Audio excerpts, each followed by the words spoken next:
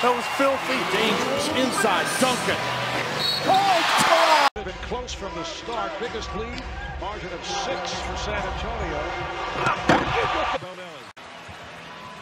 a notion about a three. Duncan again, right back to Duncan.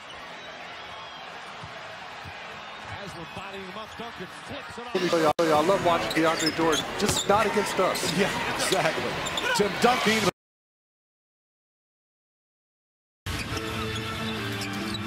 Past the midway point, second quarter. Duncan isolated against Bosh. Good defense he's been on in his 13 years in San Antonio. Udonis Haslem in the game. Duncan trying to take advantage. Of what you can't do defensively, you can't overreact. That's an all-time great player making a heck of a move.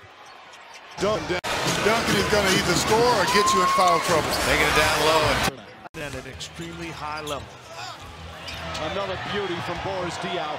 Like, but that possession by Tim Duncan alone was incredible. assist here along with Aldridge. They were both on the third team. Duncan on the feed for And That one again. Rebounds are 2018. But Jokic making a living.